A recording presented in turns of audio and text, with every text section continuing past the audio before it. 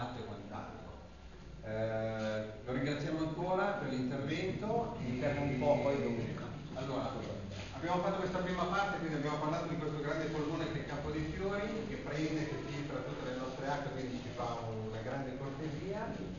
Continuiamo e andiamo a vedere dove tutta quest'acqua che viene filtrata va a finire e chi la tratta. Eh, l'argomento viene illustrato dall'ingegnere Massimo Ferrario, Movimento 5 Stelle Varese.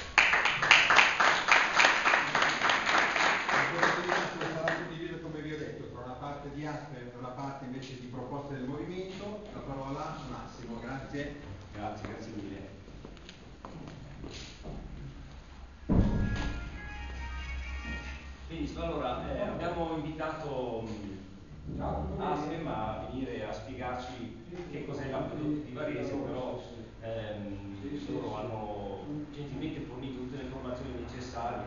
Ringrazio anche la signora Confitarese che mi ha consentito di prendere contatto per avere tutte queste informazioni. Grazie. Vedi pure la luce. Allora, Aspen eh, ci ha fornito questa presentazione che vediamo brevemente assieme che dà un'idea di che cosa è l'acquedotto di Varese e ehm, come è fatto. Aspen, come vedete, non serve solo Varese, la città, ma ha un comprensorio di acquedotti esteso che comprende 34 comuni con 220.000 abitanti residenti, una serie di pozzi, 1100 km di rete e vedete sono 19,3 milioni di metri cubi di acqua erogate all'utenza. Alla prossima, ok.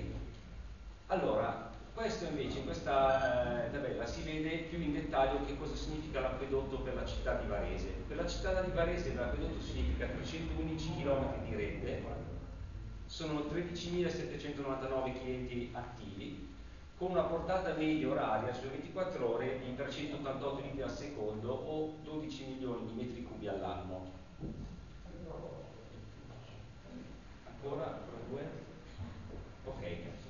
Come vedete è importante sapere che l'acquedotto di Varese in realtà non è un acquedotto, ma è una rete di acquedotti interconnessi tra di loro. Eh, sono i 16 impianti gestiti da Aspen, nei comuni li potete vedere, e poi ci sono i 5 impianti non gestiti da Aspen, che comunque fanno parte di una rete di acquedotti interconnessi. Qui entriamo nel merito della questione perché vediamo praticamente da dove viene l'acqua che beviamo a Varese? L'acqua che beviamo a Varese viene per il 28%, quella immessa in rete, viene dalla bevera, di cui ne vedremo oh, più avanti il significato. Il resto del 72% viene da altre fonti, ma in particolare principalmente da, dalla sorgente che c'è a Luminate. Quindi qui siamo proprio alla, alle, alla base del campo dei fiori, dove l'acqua che il dottor De Nasconi ci diceva che filtra dentro la montagna e poi riaffiora, riaffiora tra gli altri posti anche alluminate, dove viene presa e poi immessa nell'acquedotto. Un un'altra sorgente molto importante per l'acquedotto di Varese è la sorgente Fe, che è proprio lì a Valdolona, vicino dove c'è anche la sede di Aspen, eh, quella giù sotto a Valdolona. Um, qui saltiamo vai avanti. Questa è un'interessante visita dall'alto della Valle della Vedera. La Valle della Vedera, per chi non lo sapesse, è giù dove c'è la motorizzazione civile dove c'è l'Iper. Qui c'è sempre il signor Piterese che probabilmente saprebbe dirci tantissime cose su queste cose perché è interessato. Comunque vedete in rosso sono i pozzi e in blu sono le sorgenti. In giallo vedete una stazione di sollevamento. Sostanzialmente i pozzi sono dei tubi che vanno, ci spiegavano da, da 70-150 metri nel sottosuolo e captano l'acqua, poi l'acqua viene portata in superficie e convogliata alla stazione di sollevamento che la manderà poi a Varese. Interessante che oltre ai pozzi in profondità ci sono nella Valle della Vedera delle sorgenti sulla superficie, sono degli affioramenti dove eh, Aspen capta, sempre convoglia al sollevamento e manda su eh, nell'acquedotto in città. Prossimo. Aspen ci tiene a fare vedere come tutelano le loro fonti, in particolare qui alla Venera. Ci hanno spiegato che eh, ci sono innanzitutto la, delle opere di tutela assoluta che sono descritte bene ma sono un po' limitate forse, nel senso che attorno a, ad ogni pozzo sorgente viene creata praticamente si evita che l'acqua che si infiltra in quella zona vada direttamente poi ad essere captata, quindi viene allontanata dal punto di captazione. Poi ci sono delle zone di rispetto e delle zone di protezione.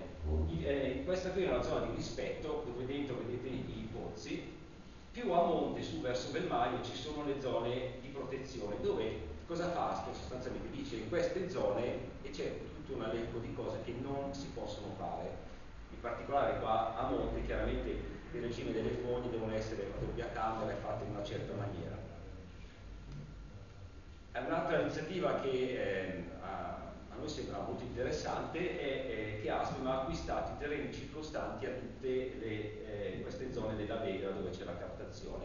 Possiamo vedere nelle slide successive, vedete, i, i, terreni tratteggiati nella Valle della Vega sono stati acquistati, acquisti, scusate, acquistati eh, da Aspen. Anche la prossima, sempre si vede insomma, che Aspen ha messo in sicurezza le proprie proprietà e il bacino di captazione. Eh, ancora? Ancora una? Ok. Vabbè, poi Aspen ci ha spiegato che naturalmente loro fanno una serie di controlli eh, che sono poi in realtà 12 campagne di controllo annuali dove chiaramente vanno a verificare di essere innanzitutto la norma di legge, più fanno dei monitoraggi per enti preposti e anche eventuali analisi richieste dall'utenza. Um, ancora? Ok. Questo è un altro concetto curioso e importante, soprattutto della, de, dell'acquedotto e della bevera, perché per come ci hanno presentato in Aspen, eh, la bevera fornisce acqua comunque sempre a un livello minore della propria capacità nominale. Eh, perché? Perché sostanzialmente la bevera è il backup, è una riserva di supporto. Quando alla resa arrivano i periodi di siccità, alcuni degli acquedotti, dei, dei pozzi di captazione del sistema vanno in crisi e non, non, forniscono più acqua. Ed è in questi momenti di siccità, nei momenti di difficoltà, dove si ricorre alla bedera, che è sempre comunque un serbatoio molto ricco e che prima di abbassare il proprio livello deve essere messo molto sotto uh, utilizzo. Quindi è una riserva importantissima. Vabbè, quindi puoi saltare, perfetto, adesso andiamo su quell'altra. Quindi quello che abbiamo visto adesso era Asmi che gentilmente ci ha spiegato come sono fatti. Noi eh, come nell'ottica, nel principio della cittadinanza attiva, abbiamo poi fatto le nostre domande e abbiamo cercato di mettere a fuoco la questione, stimolando anche Asma a dirci che problematiche ci sono dietro la gestione dell'acquedotto. Innanzitutto siamo andati a vedere quali sono gli assetti societari, perché altrimenti c'è una rete, c'è un acquedotto, ma chi è, chi la gestisce, chi la, chi la controlla. Vabbè, Aspen SPA, che la, fa distribuzione d'acqua, appartiene al 10% al comune di Varese, dal 2009 credo, ma soprattutto appartiene al 90% a, a 2A. Chi è A2A? A2A SPA appartiene al 55% al comune di Milano e al comune di Brescia, erano le vecchie municipalizzate dei due comuni che si sono messe assieme. Poi c'è una quota sul mercato che è quotata anche in borsa, quindi è un operatore comandato da un, prima, da un pubblico, però con le dinamiche classiche di un'azienda privata, perché è sul mercato. Un altro soggetto, attore importante è Aspen Reti. Perché è importante Aspen Reti? Aspen Reti è il proprietario della rete, i tubi, l'acquedotto, tutte queste cose, il proprietario è Aspen Reti, che fortunatamente è al 100% proprietario del comune di Varese. Quindi la rete è nostra. Poi c'è un altro soggetto interessante che è Prealpi Servizi. Prealpi Servizi appartiene al 12,47% ad Aspen, più dentro la società ci sono altri comuni ed enti. Prealpi Servizi eroga soprattutto servizi di depurazione. Per esempio se voi andate giù vicino all'Inter vedete delle vasche circolari con delle strane macchinari che girano, sono dei depuratori dove viene sostanzialmente depurata l'acqua dell'Olona che nasce tanto puro però dopo pochi chilometri è già intrattato e lì c'è già bisogno di una depurazione. Per altri servizi inoltre eh, fa anche il servizio di eh, erogazione idrica per certi comuni. C'è un altro eh, diciamo, concetto che, concetto, che è, eh, è un servizio che è il servizio idrico integrato. Quando sentite parlare di servizio idrico integrato non si parla solo di acqua da bere, è il ciclo dell'acqua diciamo, nell'utilizzo civile completo, dalla captazione, l'erogazione, la distribuzione la, e poi anche il recupero, quindi la fognatura, la depurazione e le acque reflue entriamo ancora di più nel dettaglio con l'autorità d'ambito. L'autorità d'ambito è una struttura a livello provinciale. Il suo ruolo è di, varare il piano d'ambito con possibilità di scontro successivo tra la proprietà della rete e la sua gestione. Questi sono concetti che mi servono per capire quello che segue dopo. Quindi l'autorità d'ambito è un'autorità provinciale che deve eh, varare e attuare il piano d'ambito. Cos'è il piano d'ambito? Sostanzialmente eh, voi sapete che se uno pensa strategicamente a quello che dovrà fare dell'acquedotto negli anni a venire, dovrà mettere in conto sicuramente delle manutenzioni, dei potenziamenti, tutta una serie di investimenti. Il piano d'ambito significa dire benissimo, noi facciamo un piano a 50 anni dove stabiliamo che in questo acquedotto avrà bisogno nel corso degli anni questi investimenti Fatto il piano d'ambito, a ritroso si calcola la tariffa, perché nella tariffa dell'acqua voi pagate l'acqua, il servizio e poi dovete pagare anche il fatto che l'acquedotto deve essere manutenuto e deve essere potenziato, fatti gli interventi che vanno fatti. Anche la depurazione. Anche la depurazione. Eh, soprattutto dove non c'è. Grazie.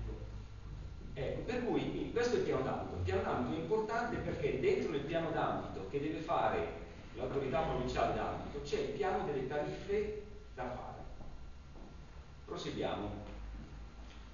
Nel nostro discorso con, uh, con Aspem abbiamo affrontato il tema della dispersione. L'acquedotto di Varese nel 2010 ha, ha perso diciamo, il 38%, questo è un dato Istat confermato da Aspem, Aspem ha detto 35, quindi vedete che sostanzialmente il numero c'è eh, ha disperso il 38% dell'acqua immessa in rete. Nel 2009 la perdita era più bassa del 31%. Aspen conferma la tendenza alla dispersione è in aumento.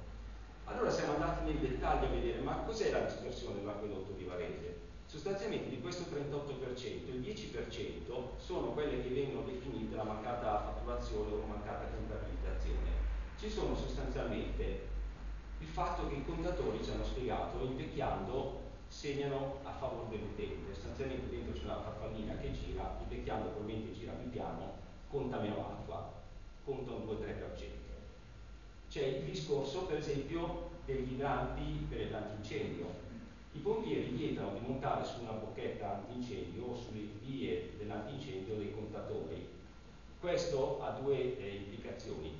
La prima implicazione è che se uno vuole fregare l'acqua all'aspen si attacca a una bocchetta antincendio da qualche parte, non c'è contatore e la frega. La seconda implicazione è che se tu hai un impianto antincendio che perde acqua, e succede spesso, non lo sai perché non hai un contatore che te lo dice. E questo conta un altro 2-3%. Ehm, quindi questi sono, ah, e poi c'è un 2-3% di acqua non contabilizzata che quando Aspen fa le sue manutenzioni per trovare, levare la sabbia dal, dai punti di raccolta insomma per tenere pulito l'acquedotto sostanzialmente sversano dell'acqua, ma è una cosa fisiologica che devono fare per tenerlo pulito. Quindi del 38%, diciamo 10% è non contabilizzata ma almeno viene utilizzata. Il 28% invece viene buttata via, viene dispersa. Questo significa, facciamo due conti, che più di 3 milioni di metri cubi di acqua vengono captati, e questo è il problema, questi vengono captati anche a 70-150 metri sottoterra pompati, trattati e mandati su in città per poi venire dispersi. Facciamo due conti, considerando un costo medio di 0,40 euro al metro cubo, una stima, il danno stimato è di 1,2 milioni di euro all'anno come perdita di acqua non, eh, non fornita, cioè acqua estratta, pompata, trattata e non pagata perché è andata persa. Questo è un punto molto importante, questo qua. Mi ha chiesto come mai. Aspen sostiene di non ricevere fondi per contenere il problema in quanto le tariffe sono ferme dal 2002 per via della mancata attuazione del piano d'ambito, ecco che torna il piano d'ambito, da parte della provincia e regione. Cosa succede? Qual è il meccanismo? Aspen per riparare le reti deve investire dei soldi. Siccome Aspen è controllata da 2A, che è un'azienda come tutte le aziende, che quando mette un capitale vuole vedere il motivo per cui lo mette, sostanzialmente lo vuole remunerato Aspen nella gestione dell'acquedotto perde tanti soldi perché non, non è un dato facilmente rintracciabile ma è stato tacitamente ammesso che c'è una grossa perdita economica nella gestione dell'acquedotto. Cosa succede quindi? Che Aspen ha una gestione di acquedotto in perdita, A2A non dà i soldi a un'azienda che ha già una perdita, perché sarebbe come dare dei soldi a uno che già perde soldi e ne perderebbe ancora di più. Aspen perde i soldi perché le tariffe non sono state mai aggiornate. Chi è responsabile di fare le tariffe? L'autorità d'ambito, prima chiamata ATO, adesso sono chiamate autorità d'ambito. Quindi questa è la problematica. Però questo è il classico cane che si morde la coda, perché Aspen dice che le manutenzioni provvisorie, in questo clima di povertà Aspen si chiamano che c'è un buco, non va a cambiare tutto l'acquedotto, ma sostanzialmente va a riparare il buco. Le riparazioni, manutenzioni provvisorie sono a conti fatti più costose delle riparazioni definitive, perché ti svegli poco oggi, ma dopo due giorni sei di un metro più avanti a riparare altro buco. Quindi qui eh, c'è una linea d'azione, la prima che vogliamo mostrare questa sera, che il Movimento 5 Stelle chiederà in sede comunale il motivo per cui il piano d'ambito di conseguenza il ragionamento sulle tariffe e sugli interventi non sia ancora stato ultimato ed attuato. Ehm, quindi siamo alla successiva. Questo è un tema che per noi il Movimento 5 Stelle è molto caro. Quando sentite parlare di chilometri zero, no? giustamente il dottor Bernasconi prima prendeva l'acqua, si credeva, guardava da dove, da dove viene. Bene, eh, anche l'acqua che beviamo quando apriamo il rubinetto non è un'acqua a chilometri zero come crediamo. Perché? L'acquedotto di Varese ha un profilo orografico complesso. Varese va dal lago che è a 200 metri fino al campo dei fiori 1200 e quindi un profilo orografico complesso. I costi di sollevamento dell'acqua sono enormi. Aspen non ha precisato la bolletta dell'elettricità, quanto pagano per pompare l'acqua, per esempio dalla Bevera su città, ma ha parlato di diversi milioni di euro. Io penso che la, la bolletta della luce di Aspen acquedotto sia veramente alta.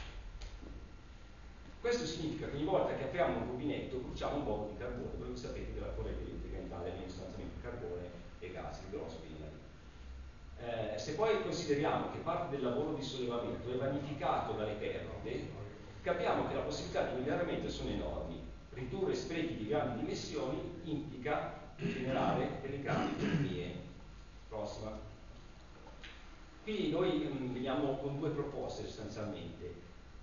La prima proposta è per eh, contenere i costi di sollevamento dell'acqua, riduzione del costo energetico della rete tramite il ricorso sempre maggiore a fonti rinnovabili. C'è un consumo di elettricità, ci sono degli spazi di proprietà si possono montare dei, degli impianti fotovoltaici che possono ridurre il costo della bolletta per Aspen. La seconda iniziativa che proponiamo è sul discorso del contenimento delle perdite, adozione di un programma di manutenzione che riduca progressivamente la dispersione con conseguente risparmio energetico e di. Se il tubo su in Varese non perde, l'acqua che tu pompi a Varese resta, quindi non è che devi pompare di più per sopperire allo scarso rendimento. Chiaramente in coro ad Aspen, quando io ho parlato di queste proposte, mi hanno detto con che soldi lo facciamo, che non abbiamo neanche i soldi per piangere. E qui è la nostra proposta di contorno, le risorse finanziarie. Noi solleciteremo il Comune a proporre strumenti di finanziamento moderni degli studi e delle opere. Ci sono dei, dei sistemi di finanziamento, per esempio io sto parlando della possibilità di fare delle società che si chiamano delle ESCO, Energy Service Company. Sono degli strumenti che permettono a un ente, un'amministrazione, a un comune che vuole fare un intervento di risparmio energetico di finanziare l'intervento pagando l'intervento con i risparmi che ottiene facendo eh, per esempio il fotovoltaico. Quindi faccio un esempio, Aspe ha una bolletta eh, robusta della corrente elettrica, usa questi fi sistemi finanziari eh, che ci sono adesso a disposizione e praticamente senza mettere il capitale, perché il capitale lo mette praticamente il partner tecnologico che interviene, senza mettere il capitale Aspen, praticamente vengono introdotte tutte le migliorie che abbiamo elencato che generano sicuramente dei risparmi. I risparmi generati serviranno per pagare l'intervento e l'investimento fatto per migliorare la questione dell'acquedotto. Io vado avanti una, questo non entro nel dettaglio perché magari chi vuole mi può chiedere dopo, però avanti ancora una, vi ringrazio.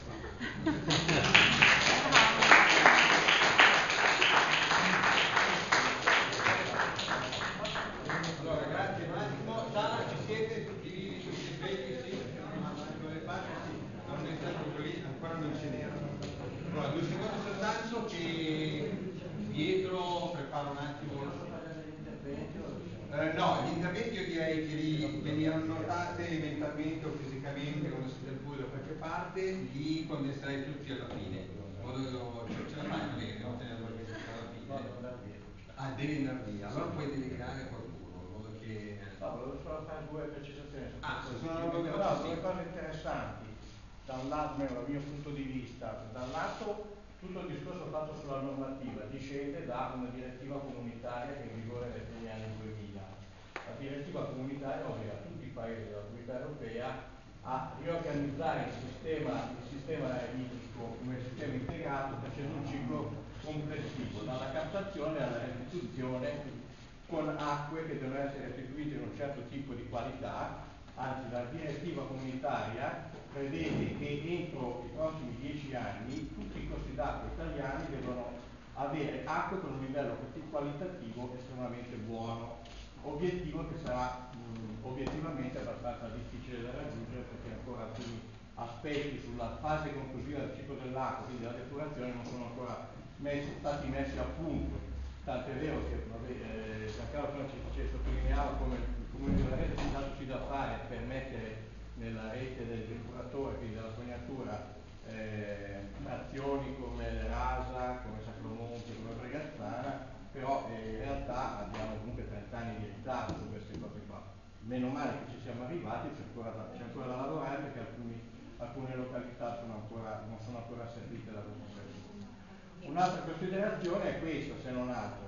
Se da un lato quando c'è una perdita d'acqua nell'acquedotto c'è una perdita economica, questa è sicuramente grave, consoliamoci perché l'acqua non, non è che finisca nello spazio esterno del nostro pianeta, torna nelle falde, quindi è perso dal punto di vista economico ma viene recuperata a livello di sistema delle, delle falde sotterranee. Sì, quello che sottolineava Massimo è l'inutilità in questo giro di prendere l'acqua, trattarla, certo, certo. Beh, certo, c'è, uno, c'è uno spreco economico. Sì, chiaramente quell'acqua torna nel... Sugli aspetti energetici se parliamo magari un'altra volta, sì, facciamo sì, una sì, serata no, che è molto più complesso l'argomento. Eh. Grazie Valerio. Va bene, allora subito la parola a Pietro Cipuzzi, idrobiologo, grande esperto del lago di Varese, eh, ha collaborato con l'Università Mille Studi, potete guardarsi un po', guardarvi un po' la sua storia, ha fatto cose molto interessanti.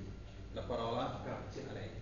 Una cosa veloce, Giancarlo, voglio i cartelli Campo dei Fiori a Casciago, visto che sono uno di quelli che ha rotto le balle a voi per fare il parco a Casciago, con Brovedani e Company.